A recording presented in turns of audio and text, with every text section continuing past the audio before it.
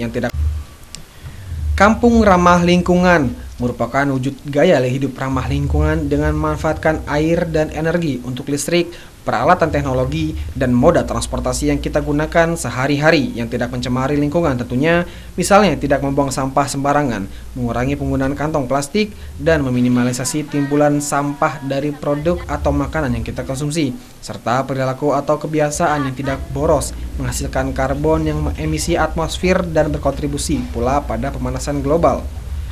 Dijumpai di Tegar Beriman, Sri Wahyuni yang merupakan salah satu penggiat lingkungan mengatakan konsep kampung ramah lingkungan yang diusung oleh timnya diharapkan dapat menjadikan warga sekitar mandiri pangan.